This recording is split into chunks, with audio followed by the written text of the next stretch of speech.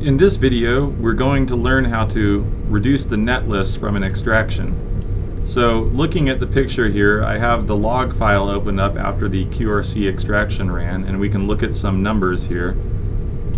The extraction ran and there were 2113 uh, capacitors extracted, 2613 resistors, 200 of the 20 of the 2.5 volt transistors and 200 of the regular transistors, and 10 substrate contacts. We can reduce this by rerunning the extraction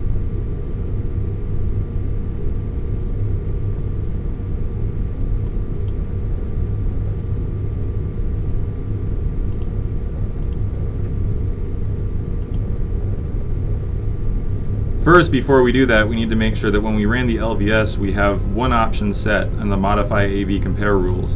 We need to go to Modify Compare Rules, go down to Merge Split Gate, click the plus button for Merge All, and say Use and Run. The text should look something like this. Next, we'll open up our Assura QRC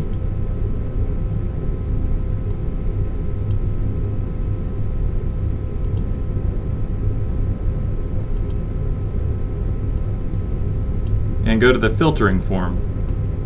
Filtering, we can remove dangling resistors. These are resistors that don't go to anything. We can merge parallel resistors into single resistors.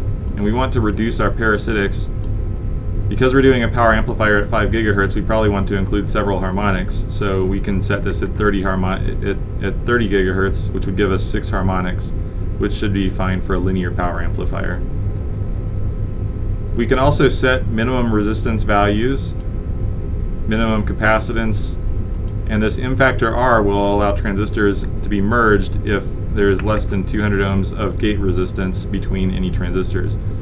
We can vary this depending upon how accurate the simulation you want to be, as we can vary all parameters depending upon how accurate the simulation needs to be. With those things set, I'm going to hit OK and we will run the extraction. watch the log file.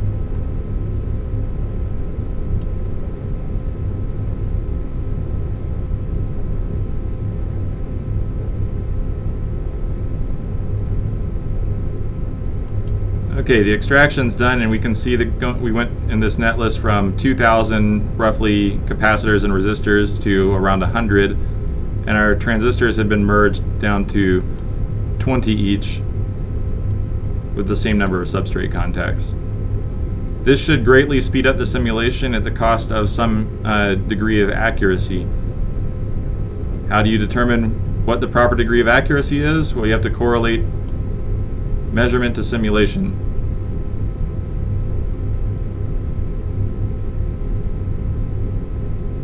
So that will end this video. Until next time,